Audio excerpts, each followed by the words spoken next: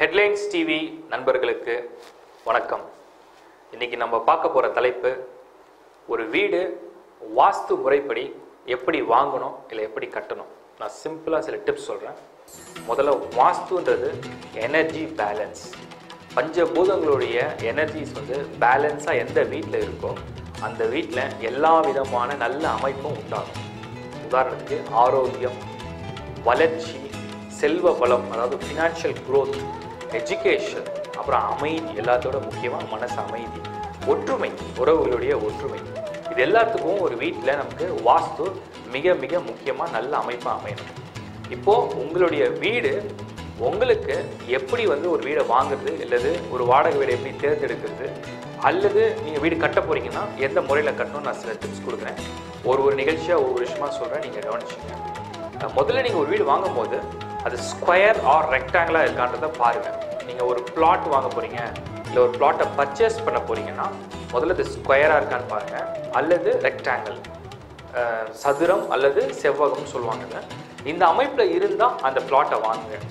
In case suppose அந்த மாதிரி அமைப்பில் இல்லை ஏதோ கட் கார்னர் இருக்குது ஒரு இடம் வெட்டுப்பட்டிருக்கு இல்லை கோஸ் இருக்குது இல்லை புத்து வருது அந்த மாதிரி இருந்தால் நீங்கள் அதுக்குண்டான சில எந்திரங்களை ரெடி பண்ணி அதை வந்து பதிஞ்ச பிறகு அந்த இடத்த நீங்கள் வாங்குறதுக்கு முயற்சி பண்ணுங்கள் இப்போ அடுத்தது வந்து நம்ம பார்த்தோம்னா ஒரு வாடகை வீடு. நீங்கள் வந்து ரெண்டல் ஹவுஸ் தான் போக போகிறீங்க எப்படி நம்ம வந்து வீடை தேர்ந்தெடுக்கிறது அப்படின்னு பார்க்கும்போது இந்த என்ட்ரன்ஸ் வந்து ரொம்ப முக்கியம். நம்ம மனுஷனுடைய உடம்புக்கு எப்படி இந்த மவுத் ரொம்ப முக்கியமோ நம்ம சாப்பிட்றதெல்லாம் நம்ம சாப்பாடு சாப்பிட்டு உடம்புக்கு அது வந்து செரிமானம் ஆகி அது ரத்தமாக மாறி நமக்கு ஆரோக்கியத்தை கொடுக்குறது மாதிரி இந்த மவுத் ஆஃப் என்ட்ரன்ஸ் ஒரு வீட்டுடைய நுழைவாசல் மிக மிக முக்கியம். பொதுவாக எல்லாருக்குமே காமனாக பொருந்தக்கூடிய வாசல் வந்து கிழக்கு ஈஸ்ட் அது இல்லை அப்படின்னும் போது வாடகை வீட்டில் நம்ம இது இவ்வளோ பர்டிகுலராக எல்லாத்தையும் எதிர்பார்க்க முடியாது. அப்படி இல்லாத பட்சத்தில் நார்த் செகண்ட் ஒரு சாய்ஸ் அந்த மாதிரி இருந்தால் எடுக்கலாம். ஒருவேளை சவுத் ஆர் வெஸ்ட் தெற்கோ அல்லது மேற்கோ வாசல் அமைய மாதிரி ஒரு அமைப்பு இருந்தால் நீங்கள் அந்த வாசலை வந்து உங்களுடைய ஜாதகத்துக்கும் கம்பேர் பண்ணி பார்த்துங்க.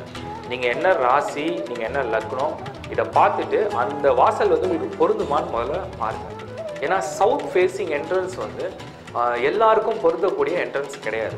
ஒருவேளை சவுத் ஃபேஸிங் என்ட்ரன்ஸ் தான் நீங்கள் வீடு போகிறீங்கன்ற மாதிரி இருந்தால் உங்கள் ஜாதகத்தில் செவ்வாய் கிரகம் வந்து ஸ்ட்ராங்காக இருக்கான்னு பாருங்கள் ஏன்னா இந்த வாஸ்துக்கு பூமி சம்மந்தப்பட்டதுக்கு செவ்வாய் வந்து மிக முக்கியமான கோல் அந்த கிரகம் நல்லா இருந்தால் நீங்கள் இந்த செவ்வாய் சவுத் ஃபேஸிங் என்ட்ரன்ஸ்க்கு போகிறதுக்கு துணிவாக நீங்கள் முடிவு எடுக்கலாம் அப்படி ஒரே இல்லைன்னா நீங்கள் வந்து என்னை தொடர்பு கொள்ளுங்கள் அதன் மூலிமா உங்களுக்கு முதல்ல உங்களுடைய பிளானட் வந்து ஸ்ட்ராங்காக இருக்கான்னு பாருங்கள் அப்படி இருந்தால் நீங்கள் சவுத் ஃபேஸிங்கில் போங்க.